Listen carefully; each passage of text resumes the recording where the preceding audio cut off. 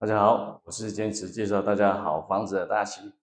今天又在坛子跟大家介绍一个很棒的华夏。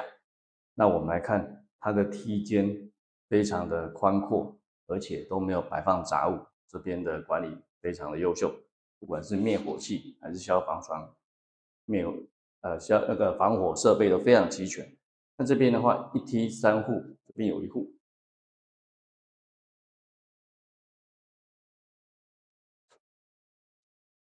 这里有两户，那我们今天要介绍的是这个。那我们先看一下，因为它有一个抗性，我先跟大家讲，如果你能接受，就赶快打电话来看，因为这个物件真的非常抢手，它空间非常大。这边是电梯的空间，那我们的门的话，有一部分去对到电梯的话，因为之前有很多客户他是会在意这样子的格局，那所以大家考量一下。先进来看这里。哇，是一个非常大的玄关。那其实这边有落水口，如果你想要把洗衣机放这边也是可以的哦。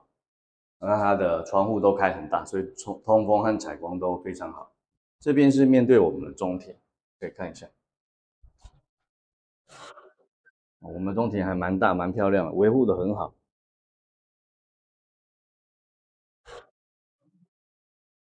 再来看。这边是它的客厅、餐厅、厨房的混合空间，那可以看到它一个非常开阔的格局，会让你觉得这个空间真的非常的大。当然，因为这样进来的话，会直接看到就是厨房啊，开门会见照，所以一样会建议大家在这边做一个屏风或者是柜子来做区隔。哦，对，因为这里也有插座，所以在这边放冰箱也蛮适合，那就可以直接打掉。那要买大台一点哦。这个地方就大概是餐厅的空间。我们来看，它有一个工作阳台，这个工作阳台也非常大哦。哦，比刚才的玄关再短一点点，但是它宽度是差不多的。那一样，全部都是有这个。窗户，而且窗户都做很大。这边是它的落水口，所以要在这边放洗衣机也可以。刚才那边放洗衣机了，也都可以哈，看你自己的选择。那这边的话，我们是用天然气的，这是天然气管线。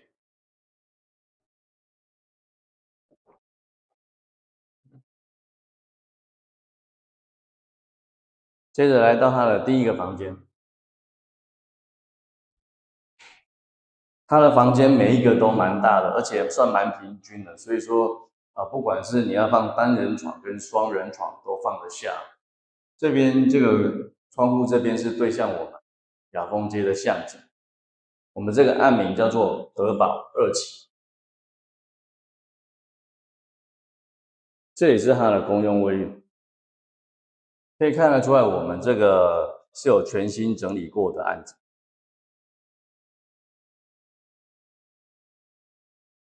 这是第二个房间，第二个房间这样也算是跟刚才那个大小差不多。刚才有说过，那房间的大小都蛮平均、蛮大。那这边通常现在已经没有人在用那个，呃，窗型，比较少了，也不是说没有，比较少在用窗型冷气。那这样子的话，这个玻璃这样也可以勉强当成它是双面采光哦。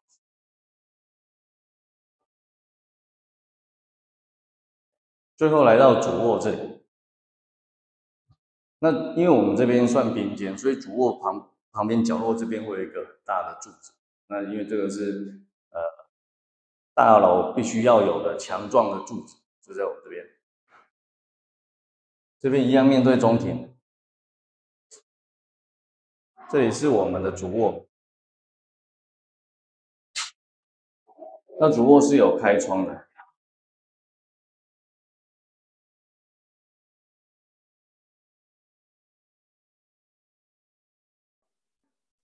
现在这个在德宝二期的超大空间三房加一个平面车位哦，目前开价一二八零万，欢迎来电预约赏屋。